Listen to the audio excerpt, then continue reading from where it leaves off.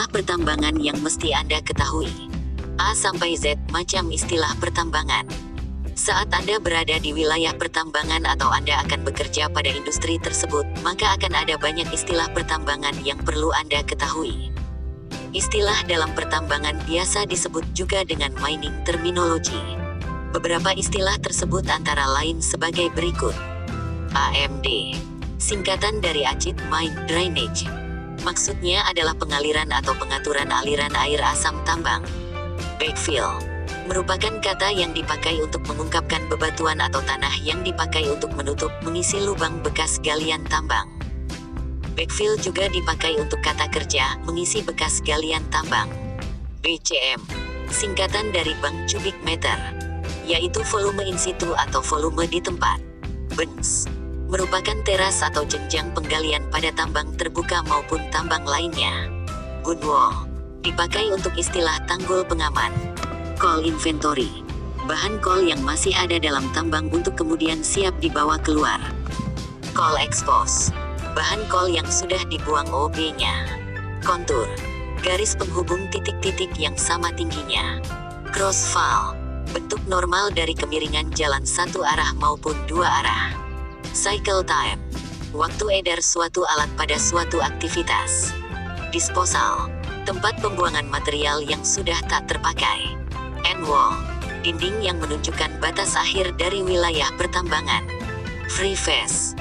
Bidang yang merupakan batas di antara material bebas dan material yang sudah diambil.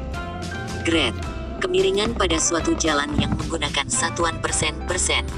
High wall Dinding tambang yang memiliki sisi kemiringan paling dalam biasanya terdiri atas slope dan bends.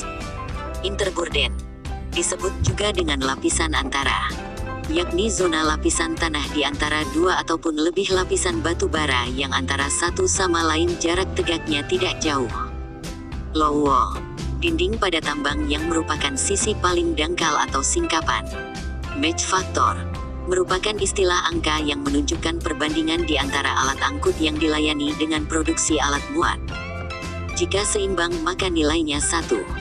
OB merupakan singkatan dari overburden, yakni lapisan tanah yang menutupi lapisan dari batu bara. Overall slope, kemiringan total pada beberapa slope. Riprap, tempat aliran air untuk mengalirkan air ke jalan pada sisi kanan dan kirinya. Road maintenance merupakan istilah untuk perawatan jalan.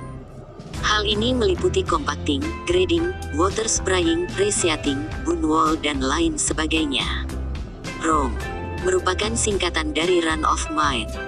Sight distance merupakan kata lain dari jarak pandang. Slope, lereng atau bisa disebut juga dengan permukaan yang miring pada tambang terbuka. Topsoil, puncak tanah yang biasanya mengandung zat yang menyuburkan tanah. Nah, itu tadi beberapa istilah pertambangan yang perlu Anda ketahui. Masih banyak istilah-istilah yang lainnya jika Anda ingin mempelajarinya lebih dalam.